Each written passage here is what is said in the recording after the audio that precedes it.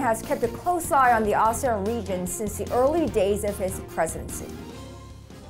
한국은 신남방 정책의 비전과 성과가 아세안과 한국 모두에게 도움이 되고 있다고 평가하며 신남방 정책 플러스 전략을 마련했습니다.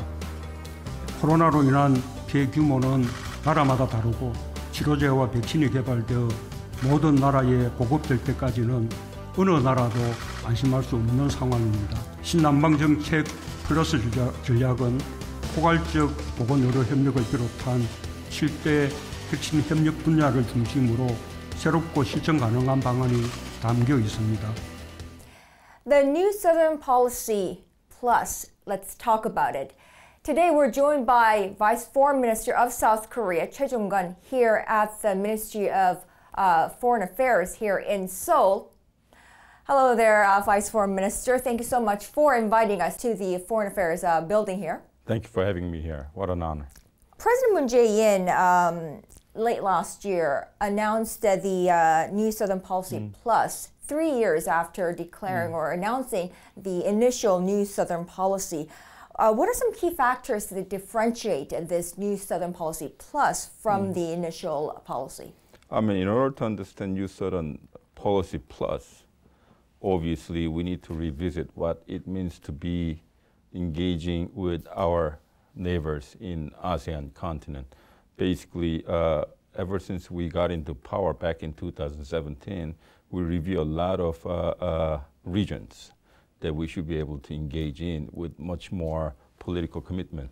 Obviously, ASEAN has to come to our mind, mind uh, as one of the very top neighbors that we must be able to uh, uh, engage much better than and much deeper than last administration. Why ASEAN to begin with is basically our close neighbors and also potential area where we can share a lot of things together beyond commercial and economic interest. And at the end of the day, we wanted to be able to share a lot of know-hows that we have with this potentially very great uh, uh, uh, region that we should grow together. When we attach plus, that would mean that expandability. Uh, we wanted to bolster a sense of community with our friends in ASEAN uh, nations, and plus India, of course. So ASEAN itself bring us a lot of opportunities because we have great regionalization, meaning that we have great network with people there, market, and, and also companies and, and, and things like that. Also, we have great cultural exchange already there. So as you see in, in the streets of Seoul, you see a lot of uh, ASEAN uh, uh, uh, footprints, I should say, restaurants, people, and tourism, and, and all these uh, great uh, assets that we enjoy. So we wanted to put them in a package and then present our people in ASEAN states, say, hey, this is our, uh, uh, uh, our policy stance, and let's enjoy this together. So ASEAN New Southern Policy Plus itself is our honest and also a very uh, bold initiative to bolster our sense of community beyond Northeast Asian theater mm -hmm. so that we have virtually good sense of communitarianism uh, throughout ASEAN and thereby contributing to the uh, uh more solidarity and cooperation. And since you are going through this pandemic, and itself requires great uh, uh, communitarianism and need for more solidarity. So ASEAN uh, are very much, we are good friends. So with NSP, we want to build up throughout seven pillars. One of them is basically uh, education, uh, future business, and also uh, health. These are the, one of the three of the seven things that we want to really emphasize so that uh, we commit a very, very simple axiom, being that no one is safe until everybody is safe. So with that, we want to prepare post-corona-19 era together. So NSP itself is essentially togetherness, mm. I should say. unity, if you will. Um, President Moon Jae-in, um, even uh, from the early onset of his administration, mm. has really emphasized and put a key focus on the ASEAN region mm. um, and emphasized the importance of South Korea diversifying mm. its uh, economic and strategic portfolios. Why, why would you say it's so important for South Korea to do this? Uh, because, uh, as I said, we live together and we should go through this very hardship together. And obviously, peace and uh, security in the Korean Peninsula doesn't just happen by any chance. We need to have communitarian cooperation throughout the region so that uh, uh, with that peace and stability, we should be able to grow together. We should be able to prepare for the post-Corona-19 era together. And at the, at, at, the end of the at the end of the day, we want to be cosmopolitan together. How has the COVID 19 pandemic impacted South Korea in translating and carrying out this mm. uh, mm. NSP plus, if you will? And obviously, as we all know, we ourselves are also going through and suffering from this uh, lingering COVID-19 much longer than we expected. Mm-hmm. And Republic of Korea has been known for its success in managing and handling COVID-19. And in the general mindset of our government is that it doesn't really matter who gets the vaccine first. What really matters is that, is that we have to finish this pandemic together. Right. So uh, what we have been doing is that through our uh, ODA, Official Development Aid Fund, and with also channels through uh, uh each capital of ASEAN state, we've been sharing our know-how in handling and, and fighting COVID-19. And also we've been providing uh, uh, uh, what we see as the best amount of, of, of masks and, and, and PCR kits and things like that. And also securing social stability in each ASEAN nation, which are going through much more difficult situation than we do, helping them at, in their hardship also secures much strong trustship between South Korea and each of ASEAN nations. So what we have been doing is that, as I told you, with the mentality of no one is safe until everybody is safe, we've been really engaging very actively with each and every uh, uh, uh ASEAN nations. Of course, for South Korea, it's not only the ASEAN region; mm. it's the rest of the world, exactly, as um, as pointed out by President Moon Jae-in during mm. the World mm. Economic mm. Forum keynote address. Um, now. Of course, for South Korea, the um, it's not only the ASEAN member nations, but this NSP uh, would you say it's designed to better align with uh, the new incoming administration in Washington and mm. their pivot to Asia, their Indo Pacific mm. strategy mm. as well? Uh, that's a very good question, something that we've been always pondering, wondering ourselves. Uh, the United States has been calling their engagement with ASEAN states uh, Indo Pacific strategy. But what we see is that we have been engaging ASEAN nation anyway with a very strong economic and commercial, commercial interest. But this administration is rather different than previous and other states in a sense that we've been doing with a sense of uh, uh, people-centered community and peace and uh, prosperity. What I mean is that uh, they might call it our own version of Indo-Pacific strategy, but we name it uh, New Southern Policy Plus because it gets much more substantial stories and contents behind it. As I told you, mm-hmm. beyond commercial and economic interests, we really wanted to build a very strong foundation for a pan East Asia uh, communitarianism. So, uh, unlike other nations with very similar policy platform, we've been approaching each ASEAN nation from what I say is a bottom up and top down uh, process together with a very uh, strong political commitment from the very top leadership in this government. Uh, we've been engaging uh, each of uh, uh, leadership in each ASEAN state. At the same time, we've been encouraging people to people, company to company, and market exchange so that we get very strong link up with ASEAN states. So we, I believe, we are very proud to say that we are very substantial we are uh, much more mind approaching to ASEAN nation, and at the and also we are very sustainable. So depending, it, it, it, doesn't really depend on who sits in the Blue House, I think this policy will become much more uh, sustainable with strong momentum. Right, the people to people um, exchanges, Yeah. because that had been already going on Yeah. between the peoples of the different countries, uh, between South Korea and the Mm. ASEAN. Um, however, in November 2019, Mm. uh, South Korea and the US released a joint fact sheet Mm. actually titled Working Together to Promote Cooperation Mm. Between the NSP and the Indo Pacific Strategy. Uh, the two countries identified Mm. different areas where the two countries could actually uh, promote prosperity. Mm. On the socio and economic fronts, there were many convergences, whereas uh, strategic, especially um, security fronts, they're lacked. Would you say that the NSP Plus has uh, expanded to cover more fronts? Well, that's something that we have to uh, carefully take a look at it. But what I want to say is this: as you just mentioned, we we had uh, for the first time uh, published joint fact sheet with uh, State Department of the United States. Right? What does that mean? First of all, our staff and people in ASEAN Bureau have become much more busy.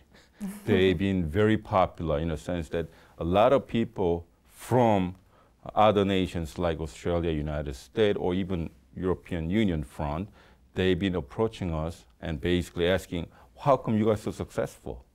So what we are saying is this, I mean, in approaching ASEAN states, you should be able to approach them with very strong blueprints for why and why, why and how uh, their and our approach is very much mutually beneficial. We shouldn't be looking at ASEAN nation just for the bank of marketability or bank of market uh, benefit. It's about people to people exchange, thereby laying very rock uh, sustainable foundation. Uh, we, need, we need to be able to buy and, and look at their mindset first. And ob- obviously, ASEAN states have their own security concern, but unless you talk to and, and, and get into the mindset of each ASEAN nation, then security cooperation become nothing but, I have to say, very superficial. So that uh, uh, that's why we've been very much able to cooperate with and also listen to their uh, security concerns too.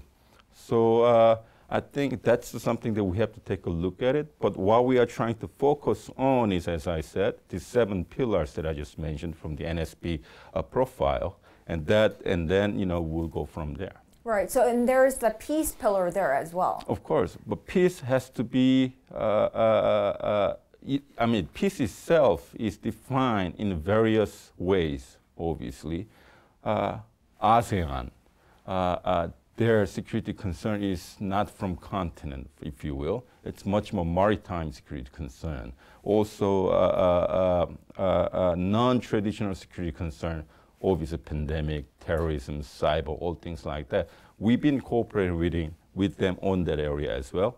So security has to be very broadly redefined within the theater of ASEAN uh, nations as well. Now, I want to shift gears to the economy a little bit. Mm. Um, South Korea joined the 14 other Asia Pacific economies to form the RCEP Mm. late last year. Um, how do you forecast RCEP to shape the future of South Korea's trade with Mm. uh, this region and the Asia Pacific? Um, how do you expect uh, India not joining RCEP Mm. to um, to impact this uh, this trade Mm. relations with this region? Okay, uh, we got to talk about RCEP first. What does RCEP stand for? In other words, a lot of people outside of ASEAN, especially from European and, and American intellectual society, they are looking at ASEAN and basically they sort of dubbed it as talk shop. In other words, they gather together, they have a great meeting, but nothing substantial. But RCEP is a very iconic and also substantial arrangement where finally this region has become uh, one free trade market. I mean, we have some uh, uh, different levels of, of, of free trade, but at the end of the day, this region all came down to one conclusion that with very stable and codified uh, uh, arrangements in trade, we are able to go from here and move forward. that means that this will become a big uh, communitarian market where, with a very different uh, uh, comparative advantage, uh, each nation will become very um, complementary to each other. So RCEP, now we have an institutional arrangement. And also one caveat is this, we have uh, uh, through this RCEP, we also have a free trading arrangement with our neighboring states, to Japan mm-hmm. and, and China as well. We have free trade agreement with China, obviously, but with RCEP, it got a lot richer mm-hmm. and it got a lot deeper.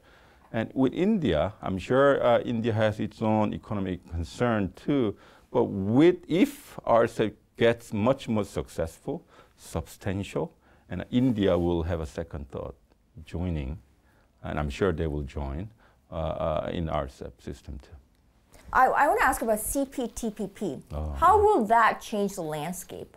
And uh, uh-huh. South Korea, President Moon Jae-in has said mm. many times mm. that he, South Korea is considering joining that.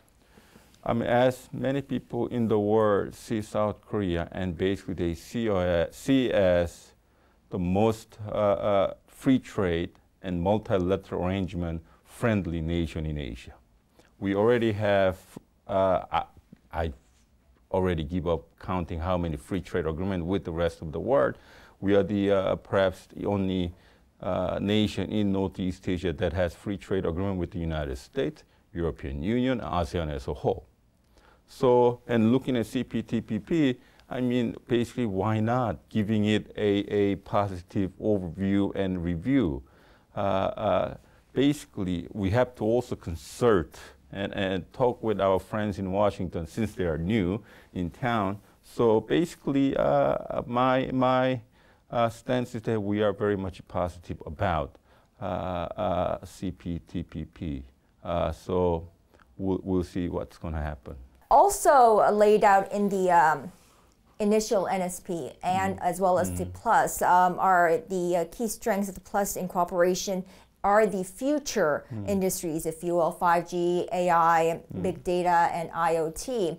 Uh, give us a layout of the, uh, the strengths that Plus has, NSP Plus has.